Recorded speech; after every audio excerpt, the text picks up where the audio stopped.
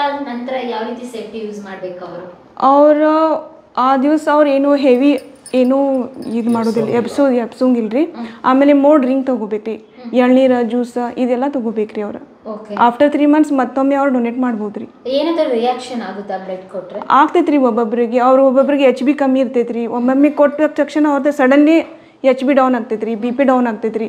ಆ ಟೈಮ್ಗೆ ನಾವು ಎಮರ್ಜೆನ್ಸಿ ಡ್ರಗ್ಸ್ ಅವ್ರಿಗೆ ಕೊಡ್ತೇವೆ ರೀ ಹೇಳಿಕ್ ಬರೋದಿಲ್ಲ ರೀ ಮೇಡಮ್. ಅದು ಪ್ರತಿಯೊಬ್ಬರ ಹೆಲ್ತ್ ಮೇಲೆ ಡಿಪೆಂಡ್ ಇರತ್ತೆ ರೀ.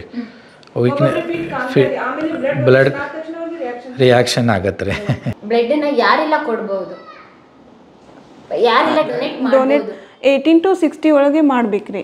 ಬಿ ಪಿ ಅಥವಾ ಶುಗರ್ ಇತ್ತಂದ್ರೆ ಅವ್ರು ಕೊಡಾಕ ಇಲ್ರಿ ಬರೋದಿಲ್ರಿ ಅವರಿಗೆ. ಓಕೆ ಅವ್ರಂತ ಲೈಫ್ ಲಾಂಗ್ ಕೊಡಕ್ ಆಗುದಿಲ್ಲ ಏನು ಅಡ್ವಾಂಟೇಜ್ ಫ್ರೆಶ್ ಬ್ಲಡ್ ಇದಾಗ್ತೈತ್ರಿ.